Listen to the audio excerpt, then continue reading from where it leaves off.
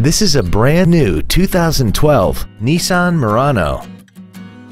This crossover has an automatic transmission, a 3.5-liter V6, and four-wheel drive.